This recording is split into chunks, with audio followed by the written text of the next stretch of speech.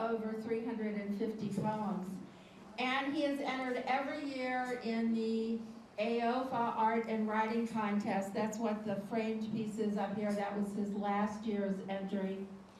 Um, so he decided that today he would love to share with you some of his poems from his new book. Now, I said he'd be reading them, but of course, those of you who know Rob know that he doesn't see real well, so he actually has them all memorized. So he will be reciting them. And then afterwards, you'll have a chance to look at his book, and he has both the hardbound copy and uh, the softbound copy available for purchase and signing. Now, I'm sure you're all wondering what the bright light is in the back of the room and the man with the camera. Rob's uh, publisher, who happens to be his nephew, contacted Norm Silverman, who has a production company here in town, and asked him to come and videotape this so that they can put it on the website and use it for further publicity. So we're really high tech today. We have we have this big production company here doing a video, and of course we have Rob with his poetry. So I'll turn the program over to Rob.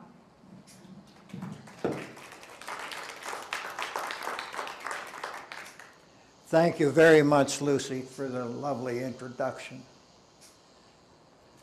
It has been about, I think, nine years since I appeared in the convocation room here. In those days, the people that knew me were hanging on the rafters. I think I filled the whole thing.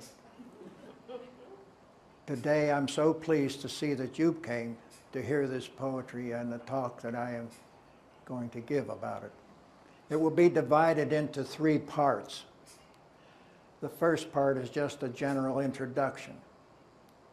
The second part will be the poetry of really great poets so that you can appreciate what great poetry is.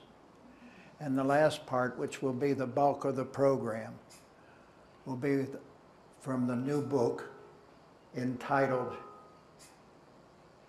A Personal Perception. Some years ago, when I published a few poems in a newsletter, people would come up to me and say, How do you do that? You're always ready with the words and, and then put them into poems. What's your, your recipe? And that gave me the idea of giving my poetry and the way I create my poetry a new way to express it by comparing it to a recipe.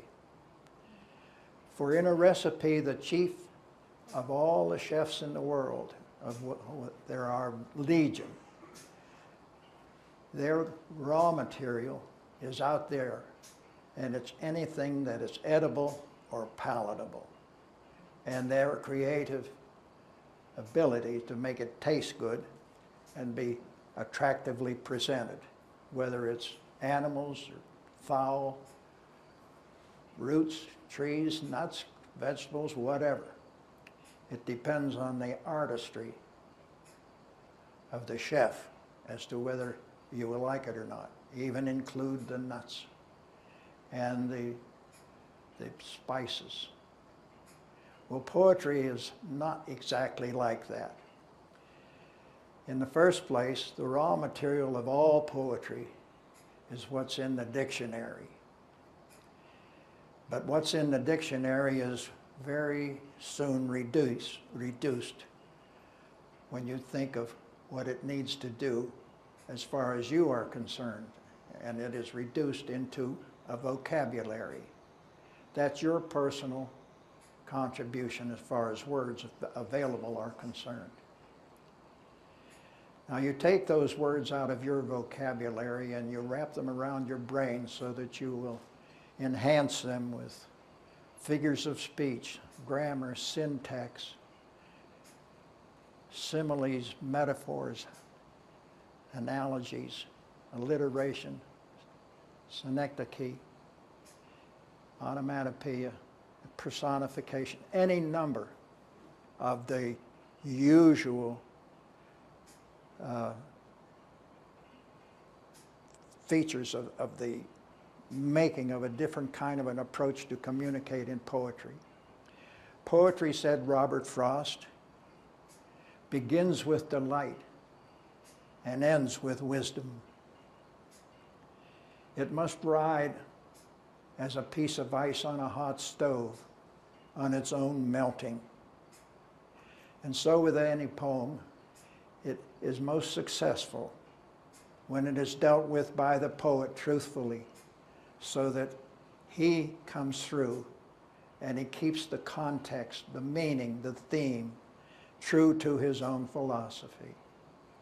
Now we go to think about the great poets of the time, and I throw these in here or have chosen them because they are truly great. And the first of those would appeal to all of us because he was the one that addressed himself in the first person as an old man.